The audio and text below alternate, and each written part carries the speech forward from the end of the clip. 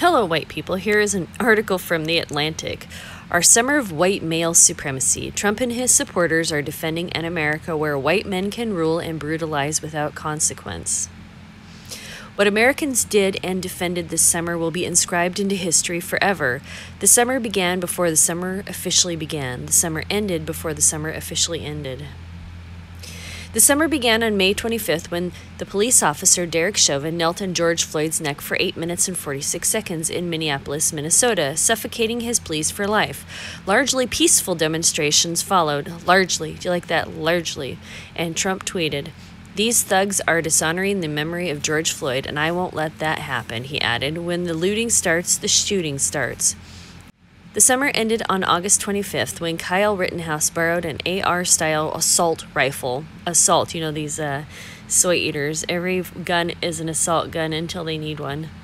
From a friend and allegedly, allegedly, fatally shot Joseph Rosenbaum, again with the Berg, and Anthony M. Huber, and injured Gage Grosskreutz. Grosskreutz? This sounds kind of like a Berg name, too. These three people had been demonstrating in Kenosha, Wisconsin, against the police shooting of Jacob Blake two days earlier. Trump suggested that Rittenhouse acted in self defense. He was trying to get away from them, Trump said, and he fell, and then they very violently attacked him. He probably would have been killed if he didn't defend himself with lethal force.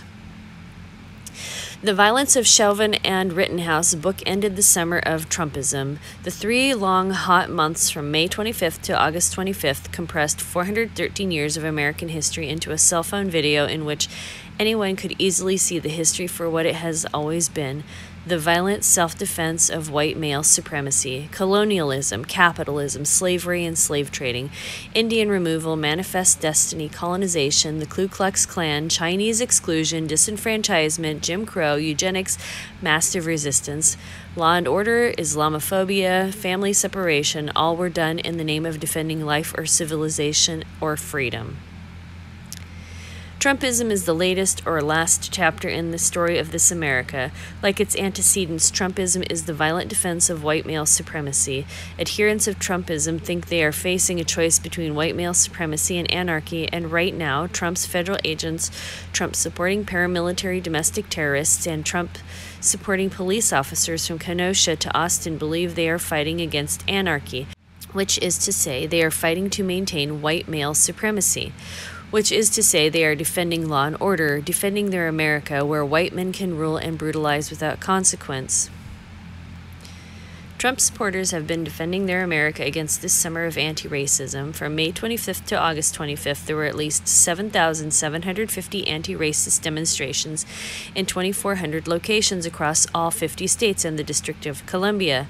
By Independence Day, when as many as 26 million people had participated in the demonstrations, the anti racist movement had already been recognized as the largest, largest movement of any kind in American history.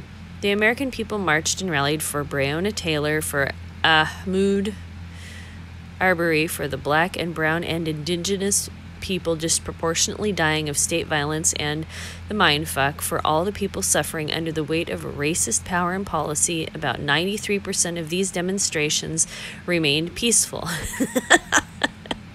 93% according to an analysis by the nonprofit Armed Conflict Location and Event Data Project. Okay, that sounds legit. Only 7% of the demonstrations turned violent through clashes with counter protesters or police, too often sparked by officers or through property damage on specific blocks, the report stated.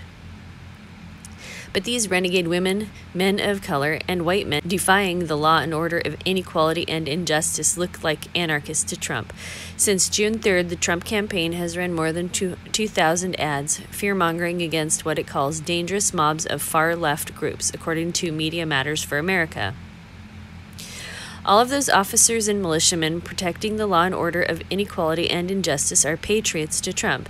They are at war. In Trump's alternative reality, the grand battle is at hand between anarchists who want to destroy America and patriots who want to defend America. Our country wasn't built by cancel culture, speech codes, and soul crushing conformity, Trump proclaimed in his address to the Republican National Convention on August 27th. We are not a nation of timid spirits. We are a nation of fierce, proud, and independent American patriots. Whenever our way of life was threatened, our heroes answered the call. Call to arms went out on the since deleted Facebook page, Kenosha Guard, for the evening of August 25th. Any patriots willing to take up arms and defend our city tonight from the evil thugs? Hal Rittenhouse lived 20 miles away from Kenosha in Antioch, Illinois, where he was arrested and charged with murder the next day. During his visit to Kenosha on September 1st, Trump did not condemn Rittenhouse, but he did condemn anti racist demonstrators. These are not acts of peaceful protest, but really domestic terror, he said, substantiating Rittenhouse's claim of self defense that he was defending law and order. By September 1st, a Christian crowdfunding site had already raised nearly 327,000 for Rittenhouse's legal defense team.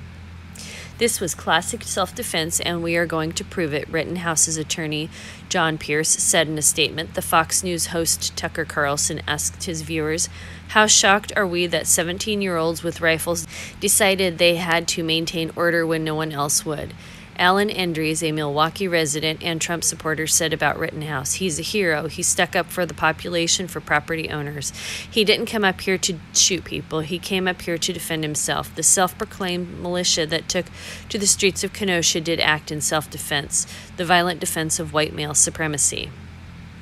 White male supremacy has granted the president the power to accost women and grab them by the bleep the power to stand in the middle of Fifth Avenue and shoot somebody without losing voters, the power to call the first female major party nominee for president such a nasty woman on live television and still win more white women's votes than she did, the power to say the first black president was not born in the United States and still have black men say at his convention that he is not racist. White male supremacy has allowed the president to have a foreign power intercede in a presidential election on his behalf, to call neo Nazis very fine people, to urge his supporters to vote twice, to build a monument of lies, to obstruct justice while freeing friends and punishing foes, to describe Americans who died at war as suckers and losers, and to look away as hundreds of thousands of American mindfuck victims' bodies pile up at cemeteries and not face any consequences. And Trump does not want his white male supporters facing any consequences either. Like him, they are always innocent. They are always the victims. Even violent strongmen like Vladimir Putin gets a pass. So do heavily armed groups of white male supremacists in the United States. According to a Politico report, the first draft of a recent Department of Homeland Security State of the Homeland Threat Assessment 2020 named white supremacist extremists as the most persistent and lethal terrorist threat to the American people but Trump refuses to acknowledge, let alone protect Americans from the greatest domestic terrorist threat of our time. Instead, he incites carnage, and the victims include people of color demonstrating their humanity and white people demonstrating against racism, like Heather Heyer. White male supremacy has long presented itself as acting in defense of innocent white womanhood. The Trump campaign is drawing on its tropes in an effort to capture enough white suburban women voters to win re election. You won't be safe in Joe Biden's America, claimed a Trump campaign video released on July 15th. The voiceover on the ads ends Who will be there to answer the call when your children aren't safe? On August 12, Trump tweeted, The suburban housewife will be voting for me. They want safety. But Trump's insistence that he is protecting innocent white women and children from the anarchists is veiling the ultimate myth of American innocence. The notion that white men are the real victims were the red hats who participated in August 30 in, in the pro Trump procession through Portland, Oregon, and who shot paintballs and pepper spray anti racist demonstrators' innocence was Detective Brett Hanks, Hankison dismissed by Louisville Police Department for wantonly and blindly firing 10 rounds into the apartment of Breonna Taylor on March 13th. An innocent was former Arizona Sheriff Joe Arpaio, Arpaio, convicted of contempt of court for refusing to comply with court orders to stop detaining migrants not otherwise accused of a crime, and then later pardoned by Trump and innocent? Is Trump, who repeatedly called the impeachment investigation and trial a witch hunt, and innocent? Was former White House Staff Secretary Rob Porter, who resigned in February 2018 after allegations of domestic abuse and innocent. He says he's innocent, Trump said at the time, and I think you have to remember that. In June, when two police officers in Buffalo, New York, shoved an elderly white male protester to the ground and caused a brain injury, the president leapt to attack the protester. He could be an Antifa provocateur Trump tweeted five days later. I watched. He fell harder than was pushed. The officers who maintained their innocence were later charged with assault. And when Brett Kavanaugh was accused of sexual assault at his confirmation hearing but insisted on his innocence, Trump's sympathies and apologies were not with his accusers. Instead, at Kavanaugh's swearing in ceremony, Trump apologized to him on behalf of our nation for the terrible pain and suffering you have been forced to endure. Kavanaugh was a boy being a boy, like when Americans wrap white mass shooters in innocence by presuming they are mentally disturbed. The presumption of innocence is largely reserved for wealthy, cisgender, heterosexual white men like Trump, and it remains until disproven. Beyond a shadow of a doubt, the presumption of guilt is for all practical purposes attached to femininity, to blackness, to queerness, to indigenousness, to poverty. To be a poor queer woman of color is to embody guilt. The closer one is to whiteness and masculinity and wealth, the closer one is to innocence. But for people like me, people like Breonna Taylor and Sandra Bland, for all the Latino immigrants facing deportation, for all the victims of homophobic hate crimes, for all the starving people being evicted, for all the missing and murdered Native women, for all the murdered black trans women, there are always doubts. There are always doubts. How does Trump seem to get away with everything with his own supporters? Because he embodies white supremacist masculinity for them. He is innocent. They are innocent. He is defending their innocence. Whenever white male supremacy shoots, assaults, violates, devastates, exploits, no matter what, there is the projection of innocence. Gun residue on his hands, innocent. Blood on his hands, innocent. Stolen life savings in his hands, innocent living on stolen land, innocent, and as the world saw at the Republican National Convention, too many white women and people of color have been turned into defenders of white male supremacy, wielding their identities to profess expertise on Trump's not racist and not sexist innocence. This is about Trump, but it is not only about Trump. White male supremacy is a governing force as old as America, as new as Trumpism, and it is wholly threatened by anti racism, by feminism.